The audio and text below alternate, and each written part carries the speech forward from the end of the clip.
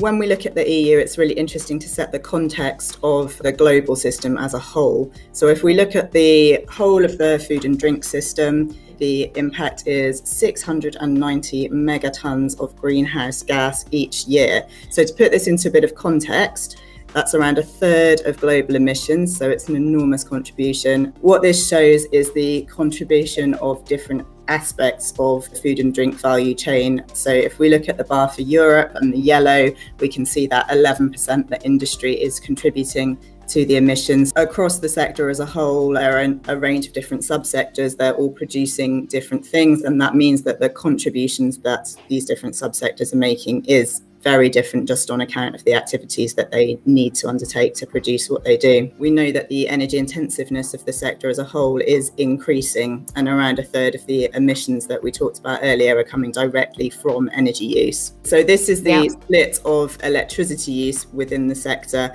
What's an interesting feature of the food and drink manufacturing sector is cooling. So, you can see there that 31% of the electricity used in the sector is coming from cooling systems. That's quite unique to food and drink, very different to a lot of other manufacturing sectors. This shows us different numbers of sites across Europe, and we can see that most of the activity is concentrated in five main countries. We're talking about France, Germany, Spain, Italy, and the UK. It means that there can be a focus of effort within Europe, but it does mean that there may be some countries on the, the outliers that have less plants that may find it more difficult to access some of the funding or the information or the skills that are required for decarbonisation. So there are pros and cons. Beyond 90% of these mm. companies are SMEs. 99%, Laura yeah. Degallaix says from uh, FoodDrinkEurope. So that's huge. So it's a you know only a very small number of them. Okay, so this is going to be quite a big job for them to take on on their in on their own right.